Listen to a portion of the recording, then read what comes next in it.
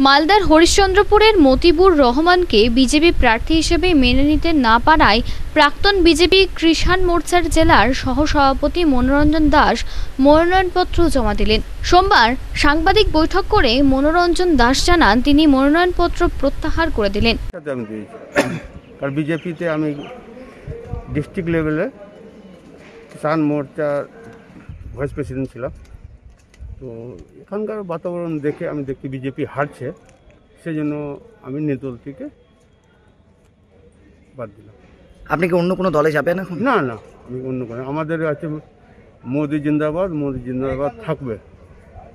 তো হঠাৎ আপনি দুদিন আগে নমিনেশন করলেন হ্যাঁ নমিনেশন করেছিলাম কিছু ব্যক্তিগত বুঝলেন আমাদের জেলার কিছু ব্যক্তিগত ক্যান্ডিডেট ছিল যে অফিসার অফিসার বলেন ইয়া প্রেসিডেন্ট বলেন প্রেসিডেন্ট ছিল ওদের মনে একটু আঘাত দিয়েছিল আমাদেরকে ওই আঘাতের জন্য আমি মনে ক্ষুদ্র হয়ে আমি ক্যান্ডিডেট ই করেছিলাম আপনি যে নমিনেশন উইথড্র করলেন এটা থেকে আপনাকে কোনো হুমকি দেওয়া হয়েছিল? না কোনো বিজেপি আমাদের একটি বেস্ট ভারত মাতা কি জয় থা হ্যায় রহেগা এই ঘটনাকে কেন্দ্র করেই রাজনৈতিক মহলে গুঞ্জন শুরু হয়েছে। তৃণমূলের পক্ষ থেকে অভিযোগ করা হয় টাকার বিনিময়ে মনোরঞ্জন দাস প্রার্থীপদ পদত্যাগ করেছেন।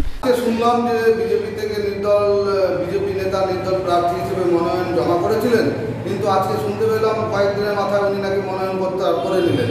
কারণ বিজেপির পায়ের নিচে মাটি নেই।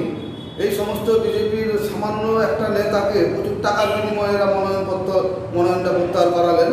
বা লোক দিলেন বা টোপ দিলেন যে তোমাকে কোনো বড় পদ দিয়ে দেওয়া হবে, এই তো বিজেপির কার্যকলাপ। আজকে বিগত দিনে যারা হরিশ্চন্দ্রপুরের ফ্ল্যাগটাকে পুড়িয়ে দিল, টায়ার জ্বালিয়ে বিক্ষোভ দেখাল। এই প্রার্থীকে মানব না। তাদের সাংসদের বিরুদ্ধে কোটি টাকার তছরূপের তথ্য প্রমাণ দিচ্ছে তারা। আজকে তারাই নাকি এই প্রার্থীর হয়ে প্রচার করছে। এতে সাধারণ মানুষ এবং হরিশ্চন্দ্রপুরবাসী বুঝতেই পারছে যে এরা প্রচুর টাকার বিনিময়ে বিক্রি হচ্ছে। তো মানুষ এদের নোংরা রাজনীতি বুঝে গেছে।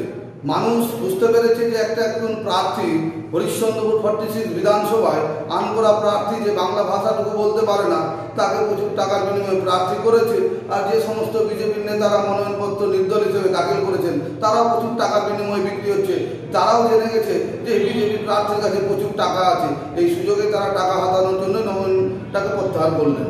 তাই কিন্তু মানুষ দুষ্রামে প্রমাণ করে দিবে ফর্টি সিক্স বিধানসভা থেকে যে বিজেপি জামানত বাজেপ্ত হয়েছে আপনার নাম যদিও সমস্ত অভিযোগ অস্বীকার করেছেন মনোরঞ্জন দাস।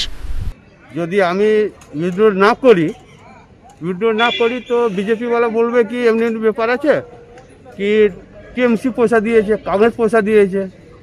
আর যদি আমি উইথড্র করে নিয়েছে তো বলবে বিজেপিওয়ালা ই টিএমসি কংগ্রেসওয়ালা বলবে কি ওখান থেকে? বিজেপি থেকে টাকা নিয়েছে।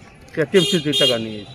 এখন কি তাহলে বিজেপি প্রার্থীর হয়ে কি প্রচারে নামবেন? হ্যাঁ বিজেপি বিজেপি আমাদের আমি এক্স আর্মি আমাদের ভারতের জন্য আমি ভারত দেশের জন্য অনেক কিছু করেছি। আমি চাই বিজেপি আসুক ভালো করে দেশ চলুক। এর আগের দিন আপনারা একটা অভিযোগ করেছিলেন যে পুরনো একটি ঘটনার জন্য কে মারা গিয়েছিল তার জন্য দায়ী হচ্ছে প্রার্থীর। এরকম একটা সম্পর্কে আপনারা এটা তুলেছিলেন? না এটা তুলেছিলাম।